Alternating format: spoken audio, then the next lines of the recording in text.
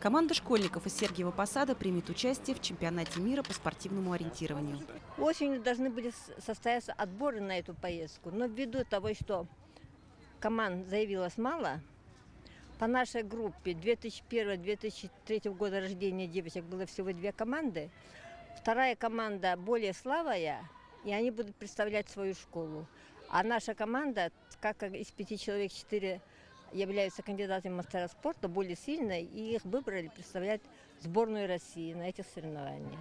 Это второй раз, когда Сергеево-Посадские школьники принимают участие в соревнованиях по спортивному ориентированию мирового масштаба. Два года назад Россию на соревнованиях представляла команда из гимназии Альбинского.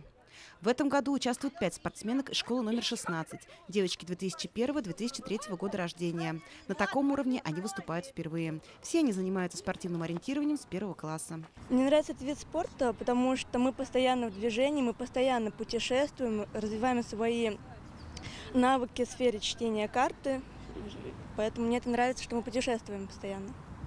А что для тебя, какие навыки тебе лично это дало, которые ты можешь использовать в простой бытовой жизни?